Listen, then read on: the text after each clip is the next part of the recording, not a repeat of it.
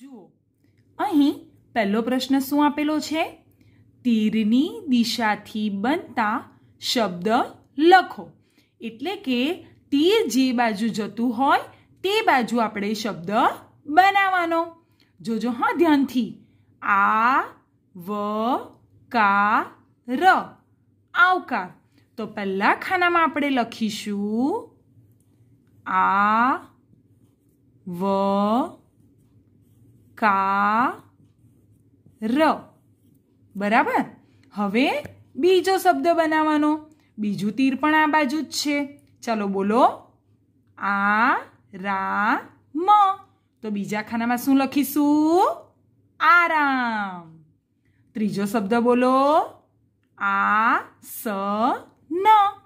તો ત્રીજા ખાનામાં કયો શબ્દ આવશે? આસન. આવી રીતે તમારે શબ્દો બનાવવાના છે? જુઓ, હવે આ ચોરસમાં બધા અલગ અલગ મૂળાક્ષરો આપેલા છે. પણ મિત્રો, આમાં ફળના નામ છુપાવેલા છે. તો આપણે શોધવાના છે અને લંબચોરસ કરવાનું છે. ચલો વાંચો. સા, ર કેળા અરે વાહ! આ તો ફળનું નામ છે, કેળા. તો આપણે એની ફરતે લંબચોરસ કરવાનું છે. બરાબર? લી જ બરાબર? હવે અ ના ન સ અરે, આ પણ ફળનું નામ છે.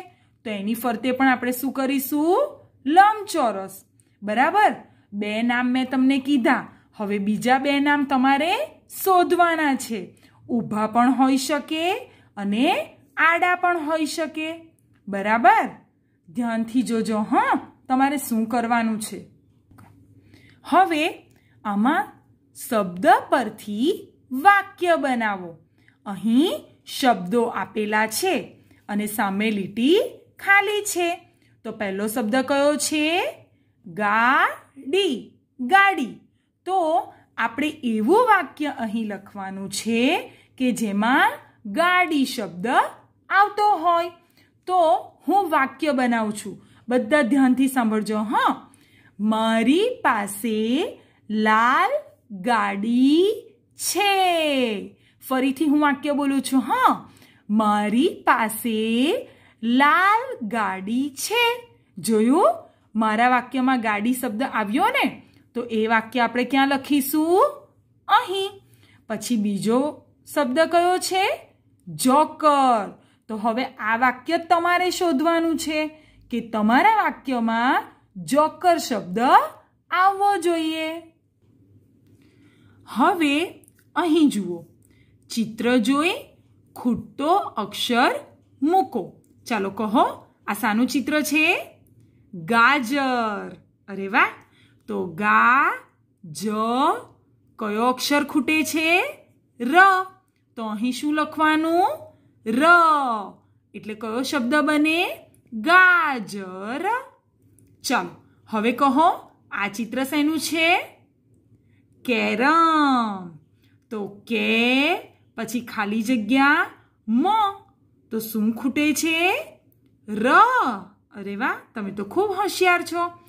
હવે ત્રીજું ચિત્ર શાનું છે. તે તમારે જાતે જોવાનું છે અને કયો મૂળાક્ષર ઘટે છે તે તમારે જાતે લખવાનો છે. બરાબર ચાલો, હવે આપણે કરવાનું છે. ભૂલ સુધારી વાક્ય લખો. શું કરવાનું છે આમાં? ભૂલ સુધારીને વાક્ય લખવાના છે. અહીં વાક્ય આપેલું છે, હા, જોજો. મારા બે કન છે. અરે, કન આવે? શું આવે? કાન. કને અહીં કાનો લખેલો નથી. તો આપણે પાછું એને સુધારીને લખવાનું છે. મારા બે કાન છે. હવે આ વાક્ય કેવું થયું? સાચું, બરાબર ને? જુઓ, નીચે પણ એવું જ વાક્ય આપેલું છે. માછલી પાણીમાં તર છે. તો આમાં તમારે ભૂલ શોધવાની છે અને એ ભૂલ શોધીને ફરી પાછું સુધારીને અહીં નીચે લખવાનું છે. હવે અહીં જુઓ. ચિત્ર જોઈને નીચે કેટલાક સવાલ આપેલા છે. અને આપણને ઓપ્શન પણ આપેલા છે. તો આપણે સવાલ વાંચવાનો અને એમાં નીચે કયો સાચો જવાબ છે તેની પાસે ખરું કરવાનું છે. તો ચિત્ર જોયું બધાએ ધ્યાનથી? બધા પ્રાણીઓ છે. સાચી વાત ને? તો આપણે પ્રશ્ન જોઈએ. આ ચિત્રમાં પ્રાણીઓએ શું બનાવ્યું છે? તમને શું દેખાય છે? છુક છુક ગાડી. અરે વાહ! આપણે ઓપ્શન જોઈએ, હા. બસ, ગાડી છુક છુક ગાડી, વિમાન. હા, તો તમને શું લાગે છે? પ્રાણીઓએ શું બનાવ્યું છે? છુક છુક ગાડી. તો આપણે છુક છુક ગાડી પાસે ખરું કરવાનું. બરાબર? હવે તમારે જવાબ વિચારવાનો છે. ચિત્રમાં કયું પક્ષી છે? તમને ચિત્રમાં કોઈ પક્ષી દેખાય છે? તો તે તમારે કહેવાનું છે. નીચે આપણને ઓપ્શન આપેલા છે કાગડો, પોપટ, મેના અને ચકલી. જે હોય તે તમારે લખવાનું છે. કયું પક્ષી છે? બોલો તો. કાગડો. તો અહીં કાગડા પાસે ખરું કરવાનું છે. હવે ત્રીજો પ્રશ્ન શું છે? હાથીની પીઠ પર કોણ બેઠું છે? તો હાથીભાઈ ક્યાં છે? તેની પીઠ ઉપર. તો આપણા ઓપ્શનમાં શું લખેલું છે? કાગડો, સસલું, પોપટ, ઉંદર. તો જે બેઠું હોય, તેની પાસે તમારે ખરું કરવાનું છે. ચોથો પ્રશ્ન છે, ઝંડી લઈને કોણ ચાલે છે? તો જુઓ ચિત્રમાં, અને અહીં ઓપ્શન પણ જુઓ. વાંદરો ઊંટ, હાથી અને રીંછ.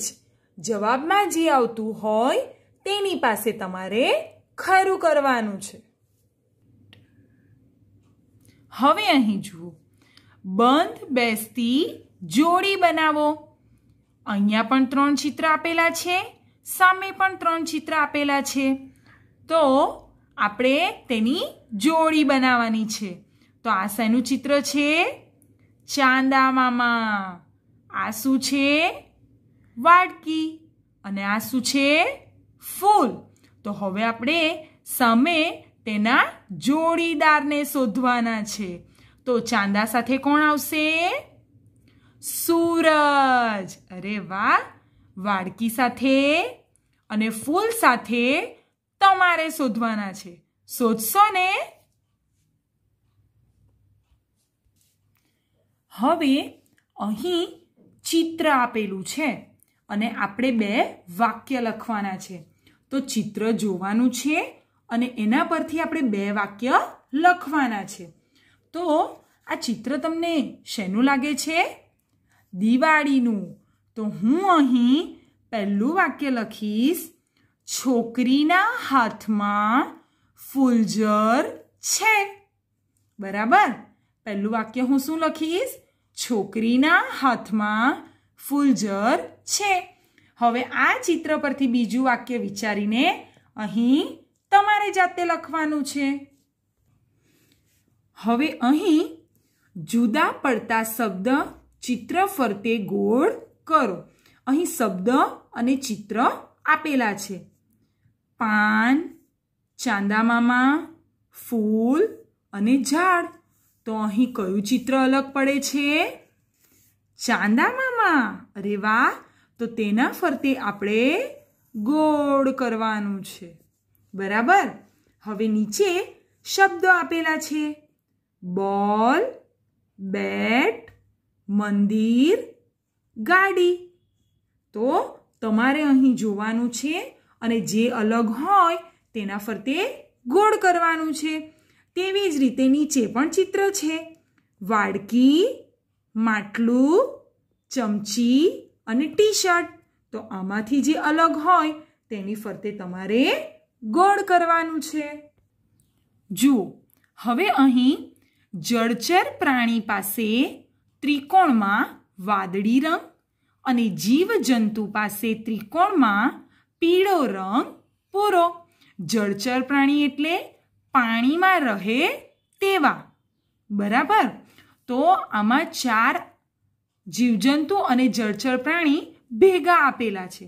તેમાં જે પ્રાણી પાણીમાં રહેતું હોય, તેમાં તમારે કયો રંગ પૂરવાનો છે? વાદળી.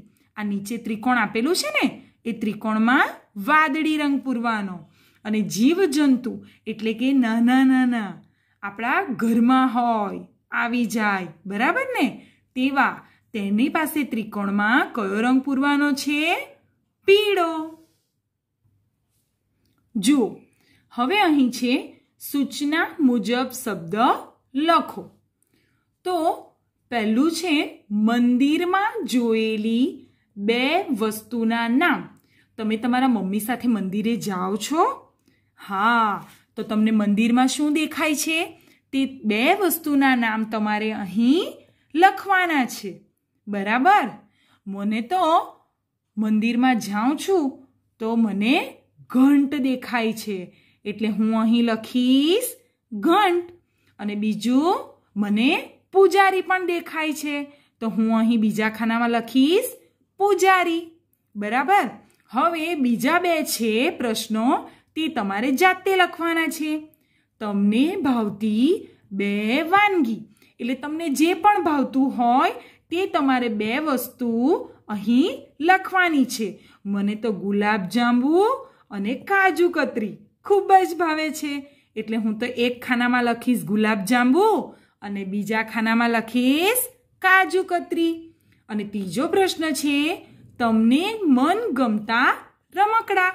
તમને કયા રમકડા ગમે છે? તો તે તમારે બંને રમકડાના નામ અહીં ખાનામાં લખવાના છે. અહીં વાર્તાના ચિત્રો આપેલા છે. તેને આપણે ક્રમમાં ગોઠવવાના છે. અહીં ટોપીવાળો ફેરિયો સૂતો છે અને વાંદરા નીચે આવી તેના માથા પર ટોપી પહેરે છે. અહીં વાંદરાઓએ ટોપી જમીન પર ફેંકેલી છે. આ ચિત્રમાં વાંદરા હજુ નીચે આવે છે અને પોટલું ખોલે છે. અને આ છેલ્લા ચિત્રમાં ટોપીવાળો ફેરિયો વાંદરાઓને કહે છે. બરાબર?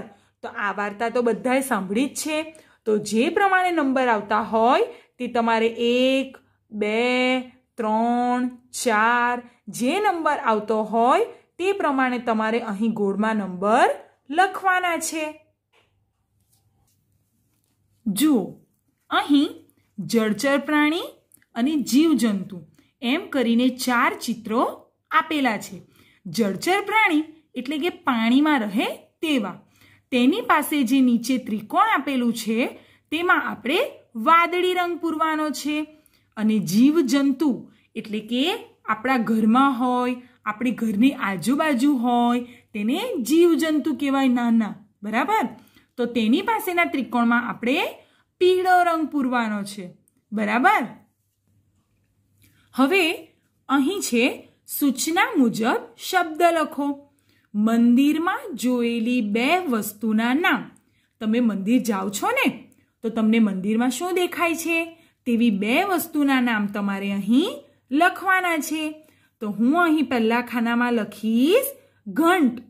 મંદિરમાં ઘંટ હોય ને, તો હું અહીં લખીશ પહેલો શબ્દ ઘંટ અને બીજો શબ્દ હું લખીશ પૂજારી. તમારે પણ આવી રીતે વિચારીને લખવાનું છે. તો ઘંટ અને પૂજારી. બરાબર? તમે પણ બરાબર વિચારીને લખજો, હા? હવે નીચે છે, તમને ભાવતી બે વાનગી. તો તમને શું વધારે ભાવે છે? તે બે વસ્તુના નામ તમારે અહીં લખવાના છે. તો મને તો ગુલાબજાંબુ અને કાજુ કતરી. તો હું અહીં પહેલા ખાનામાં ગુલાબ જાંબુ લખીશ અને બીજા ખાનામાં કાજુ કતરી લખીશ. બરાબર? તમને જે ભાવતું હોય તે તમારે લખવાનું છે. તેવી રીતે ત્રીજો પ્રશ્ન છે, તમને મનગમતા રમકડા. તમારી પાસે રમકડા હશે ને? તો એ રમકડામાંથી તમને જે સૌથી વધારે ગમતું હોય તેવા બે રમકડાના નામ તમારે અહીં લખવાના છે. જોયું મિત્રો? આવી રીતે તમારે વિચારીને તમારી મનપસંદ વાનગી અને રમકડા બંનેના નામ લખવાના છે. તો આ હતું આપણું પેપરનું સોલ્યુશન. તો તમારે વિચારીને સરસ અક્ષરે આખું પેપર લખવાનું છે. લખશો ને? આપણે ફરી મળીશું. Bye bye.